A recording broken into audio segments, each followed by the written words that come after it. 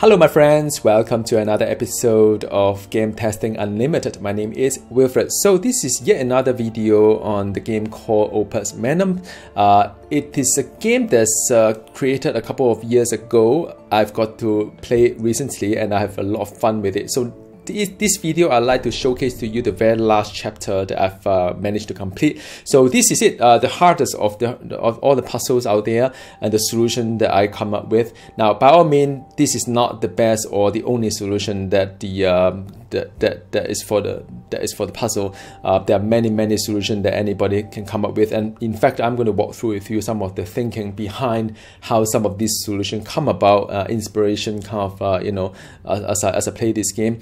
But uh, you know, um, for for those who intend to play this game very soon or in the midst of playing it, a little bit of spoiler alert because I'll bring out all the puzzles uh, one in one video. But for those who just like would like to uh, get understanding how this game plays like, it's a good video to start with. And uh, who knows, you may want to just start the game and create solution of your own. Now, uh, so these are some of the you know um, story to it, and I'm not going to go through those stories. Some of these are mini games as well. I'm not going to go through them, but uh, I will start with some of these um, solutions that I come up with. So this one is called the Mist of Hallucination, and some of them is really, really, really cool. So I need to create something like uh, like this pattern here and I believe uh, this one is the air. I have to get used to this one. Uh, so it's the blue color just like sky. So this is the air element. I need to put it in this order. And meanwhile I need to uh, have the this is lead, by the way. Uh, so this guy here is called lead. Um, and then when I, when I combine two lead in this glyph here, and this glyph is called glyph, glyph purification, combine two lead together, I get iron, and iron will put it here. So in a way, I need to make sure that uh, things are being combined into an iron, and I need to combine the uh, the air in this way. Uh, so I just do a little bit step by step here, one and three. Um, so let's go for it. So I like the wheel. I don't know why. I'm addicted to the wheel. Uh, this guy here. I don't think wheel is the. Uh, it, sometimes it can be quite efficient because you don't need to reset the position of the arms, but uh, sometimes it could be quite expensive as well. Wheels are more expensive than the arm itself, of course. So the first one, I just uh, spin the wheel and meanwhile get this guy going. And then after that, I spin the wheel, uh, drop it in. I get the iron, iron here from the. Uh, I got the tin. I think. Sorry, this is a tin. I think from it. And after that, I move the move these two together.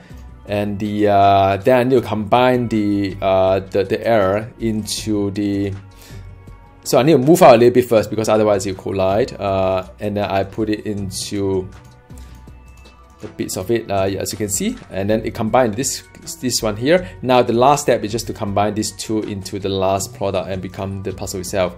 So uh, you see? One shot it combine everything and then I release it as spin it to the end product itself. So after that, uh, it's a cycle, and you know you have to produce uh, six products uh, just to, just to make sure that from a pro parallel processing point of view, at the end of the cycles, uh, you could spin back to the first uh, step as well. So everything get connected continuously, creating products after product after product. So uh, this is rather fun. I quite like it. Um, and the and the product itself is doing pretty alright, I guess. Um, it's it's there about where the majority of people are doing. Uh, you could, of course, improve a little bit of it without using the wheel, maybe just an arm and so on and so forth. I will play this game again uh, to, to get some better scoring and so on and so forth. So that's one of them. Another one is a timing crystal, also very, very nice. Uh, this one here. This one took me a while to get it, but once you get it, it's so beautiful that you just like, you know, there aren't really a lot of components to it, just a few, uh, just uh, two arm, one wheel, as well as a bit of like combining uh, mechanism and a little bit of track to run across. That's it. And you need you need to produce uh, something like this one, which is the gold in the middle and salt on the side.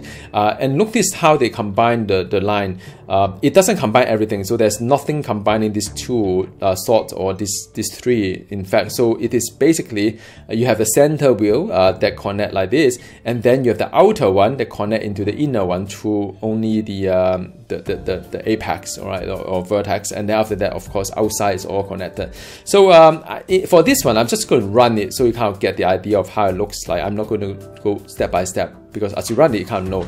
So basically just creating the middle part first. And after that, I create the outer part. Uh, I have to make sure it doesn't bang onto any of these things here. Then I need to start combining the, the outer part and then connecting one by one of it. Uh, and there you go, voila, uh, that, that works out pretty nicely. And you could like watch it for six cycles and see how the thing goes. Very, very beautiful. At the end, it is probably one of my best solution from a simplistic point of view. It looks very clean and simple. Uh, I, I, love it. Um, and, and, and how this arm trying to fit into all these things and how to combine together without hitting any of this arm area because there's a limit to what this one can, how this one can rotate and so on. Uh, and, and this is another constraint as well. Uh, make sure I don't hit onto any of those area. So uh, overall, a very, very elegant design, uh, a very good use of the spinning itself uh, and so on. Yeah. Um, and, and, the good thing about using a wheel on this part is that I don't need to reset the arm position, so it makes things a little bit faster. That's a reason. All right, so that is I think I've done pretty well. Cost-wise is you know on the low side. Cycle-wise is uh, almost there, and uh, I don't use up that much area. So yeah, that is a very nice game here. My favorite uh, of all, I think. And then the other one is uh, Voltaic uh, Coil, uh, which is is not too bad as well. I think a bit slow on the slow side, but um, it's kind of weird. If you look at all this graph uh, people either get it or they have something quite creative. So anyway i need to create a train like this one here uh, connect all the elements. And now these are what are these one? Uh, let me explain a little bit. The red one is a fire and the one in the middle is called lead. So i need to connect the lead and this is salt. So i need to connect the salt with two lead and a fire and after that um, you know connect like that. So usually when it comes to this sort of pattern you try to identify which is the repeatable um, kind of a product. So the repeatable product would be uh, this part here. Okay? And after that you merge this one here and merge this one here. So in a way you kind of like identify what are the uh, sort of like repeatable product in, in, in, a sense so that you can keep adding things in it. Uh, and I use two wheels. I like the wheels. You guys know that. And the uh, now, I, I only have the two fire and one lead. So the lead, of course, need to spin on up and down to, to fill up this guy. So I need to go up, go down, go up, go down, go up, go down. And now I have the uh, the the fire as well. And the fire, uh, I need to alternate between the fire and salt. So I will spin the fire first, spin the salt, spin the fire, and spin the salt. To create a salt, I need to touch the fire with a glaive, which is a glaive of calcification. So I need to uh, have alternate cycle.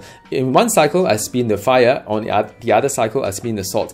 So in order not to touch this glaive all the time, I create a mechanism whereby I use a bit of like a wheel kind of movement here as you can see later. Again, I'm going to just press run. I'm not going to do a step by step because um, uh, yeah, I think you get it. So, so basically, as you can see, uh, I'm combine the thing together and I push it like this one, and I create another one which is giving you the um, the fire alternate between fire and uh, and and the um, and the salt. Now the trick of this one is how the thing are connected.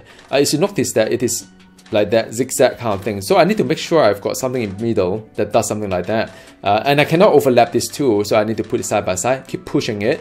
And uh, and the other connectivity is through this guy here, the two connector uh, on the top and bottom. So that's it. I've got a pretty nice um, thing done up here. Uh, again, it's kind of weird, uh, not the fastest, not the cost most cost effective and not the best use of area. I mean, in, in the future, I may want to do something different, like perhaps like, you know, creating uh, instead of wheel, maybe I do arm instead. Maybe that could be a better choice instead of using all this wheel and fancy stuff. But I kind of like it, um, kind of fun. Right, so that was the uh, the voltaic coil. Uh, the next one is unstable uh, compound.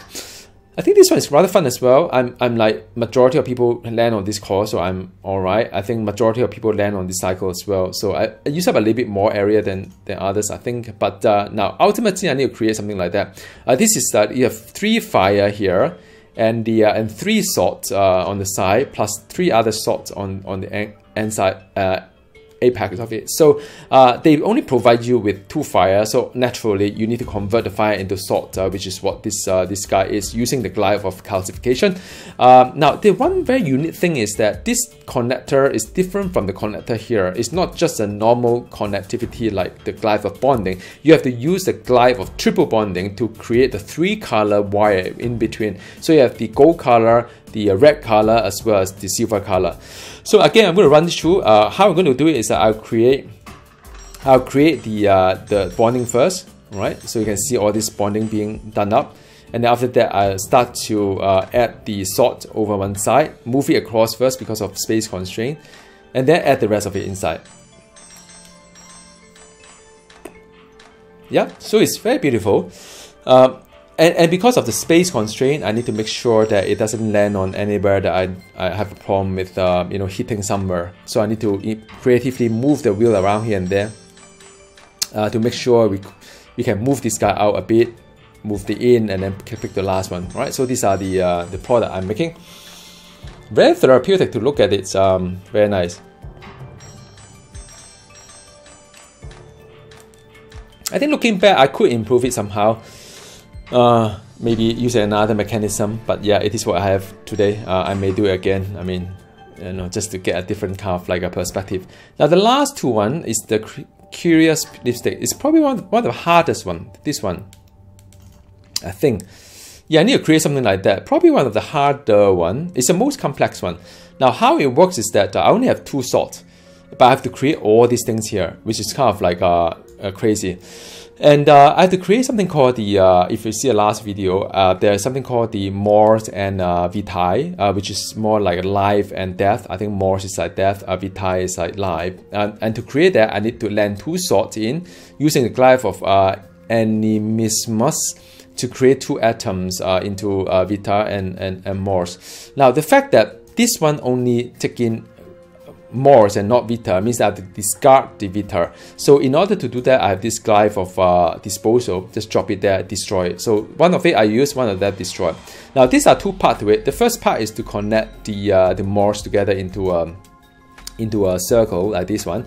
Another one is actually pretty complex. I need to uh, create this uh, this structure whereby there's a bit of like um, you know um, I think these are uh, water. Uh, know this is not water. These are probably earth. I can't remember what is it. And the fire as well. Uh, basically the green one plus the fire plus two salts. So to do that, uh, I have to use a spinner. It's called the wheel. Uh, it's the Van Berlo's wheel. Uh, I would decide how to transmit it. I can actually use a uh, sword with the wheel, I can create this uh, matching color. So remember, last time we have this glyph of uh, glyph of um, uh, calcification, which is to convert any element into salt. This is the reverse of it, creating salt from you know into any element as per the wheel. So it's kind of fun. You have to spin the wheel correctly. So there are two parts to it. One is to create this part, another one is create this part, and after that I join them together as the last step. And because the fact that I only have two salts, and you can do a little bit of parallel processing here. So the first part, you can start using this wheel to build this part. And while this guy is building up, I can use this wheel to create the second part. And uh, to do that, let me just slowly walk you through the steps so they can understand what is happening here. All right. So first step, first step first, uh, I need to create the. Um, I have two sort here, and I got the two sort here, and then the two sort dump into this guy to create the Vita and Mors. While at the same time, I'm creating the second part of the uh, the product. So this one become a green thing here. Now I've got a Mors and a, and a Vita. Vita I need to throw it away, so you can see that um, Vita threw it away there that one is drop it there. And while the Mors go into one part here to start creating the uh, the circle. Now I use the the the the, the arm 6 to create this guy. You see later I keep rotating it. Uh, it's kind of fun. Meanwhile the the, the green is there. Uh, so you see the thing get destroyed. So the green get pulled to one side and meanwhile I start to create another set all right and then now I do another green. So now it's a green. Uh, this part is a green all right so this is green and after that uh, I can continue doing that. And this guy keep flipping uh, rotating it. You see that? It rotate keep rotating. And this guy is still forming the second part which is salt uh, plus the uh, the fire coming in as well. Join the salt and the fire. And the last one is just the salts that going in. So I got this structure right. This structure is done. Uh, just a bit of binding that need to be done as well. Done is binding. Now so the last step is to spin the two together and to uh, to combine them. There you go so I use two arm. Uh, I use a long arm because I need to traverse a longer distance. I could use the um, you know track to move this guy, but it's slower. Uh, this one move like you know one step you can move uh, one, two, three, uh, kind of like four, five kind of like steps across. So it's much more efficient. And after that done, I drop it to here and done. Right. So just going back to the first step, uh, this guy is forming up. As you can see, uh, things are being destroyed and this guy is uh, falling up to there and then that drop to here. That's it uh, the second product. All right so it's very very nice. So uh, notice that I do this one first and do that one. I do this one I do left and right left and right uh, so a little bit of parallel processing building two uh, parts simultaneously. It's really hard. Took me a, quite a long time to come up with this particular solution, but I'm pretty satisfied with the fact that uh, things are done up. And also notice that this is a rather large area. Uh, you need a bit of space in order to make it happen, I think, because otherwise uh, you will keep colliding with the existing mechanism, as the um, the element, atom, and so on, right? So this is the, the second last one. And the very last is a grand finale. I think the last one is not as complex complex as this one. This one took me a long time to make. And the last one is the um, the universal solvent, which is the very last game. And uh, I did pretty well cost rise is pretty low, but of course it's not as fast, uh, but the area also pretty pretty well as well. So it's a bit of constraint. You can put a lot of money in and try to get things done and so on and so forth. But uh, yep. So now this is uh, actually, you know what? This is rather complex as well, but it's not as you know structure as the other one. This one is complex because the fact that I need to create almost everything uh, that I, I need to I've known run off, right? So I need to create a, a, a Vita and Vita and Mors, which is the life and death, I guess. Um, and then I need to use a tin as well, which is the one in the middle. Uh, meanwhile, I need to put a salt around it, and also I have to have all four elements in this order. And then from a binding wise, it doesn't connect everything. You have to connect like just uh, the line here. So it's one straight line here plus the outer one, but those, there's no inner connection and plus the salt around it. Now this design is probably not the best design I can think of because I think uh, there's a little bit of redundancy of steps as you can see later. But I want to keep things simple first, get the things sorted, and then after that improve the, the, the version it is. Um, I'm going to step through it really, really uh, fast here and uh, you get the idea of how this thing works. Alright, so now initially this is the one I can dump the uh, lead in to create a tin and tin is what this one is um, so I need to create this one and also meanwhile I create the the the the, the Vita and Mors as well uh, so the the up and down arrow. So drop it in I create a create, created the uh, the middle part. And the middle part will then go into to here. And uh, meanwhile I'm already get ready to create the rest of the elements so this one the the Vita go up. The Mors is coming in as well. Number six is the one that does all the heavy lifting uh, to, to move. Now, of course, there's uh, uh, I could improve by having an extra arm somewhere or mechanism whereby I can parallel process a little bit. But anyway, uh, so I've got the middle part done up. So now it is for 6 to keep getting all the element in and I need to make sure that the right element at the right order is done up. So now it's just a matter of building up the middle part, uh, which I've done it pretty well. Now the the uh, the only thing that is probably unfortunate is that I created unnecessary uh, bonding between some of the elements whereby here don't have it. And you can see this one is to cut it off. So later on I'll have to trim it uh, by not connecting some of these things. Uh, it is almost like a necessary evil kind of thing, but I probably have a I will I'll come up with a better design in the future, uh, not to have that extra step. So I've done that, and now it's a matter of cutting cutting this part, and then rotating it and cutting this part, and then move it to somewhere. I can start building the next bit, which is the uh, the salt in it. All right, so the salt then go into the end of it, um, and um, and then be, I use a wheel so that I don't need to reset position, and then after that, uh, that's it. Uh, let me just run it. So that's done, right? So again, I just build the middle part first. I think this the the initial part is the slowest, but after that is a lot of like you know uh, efficiency being run there. Right, so that is the very last uh, clip of the whole entire game, the final puzzle.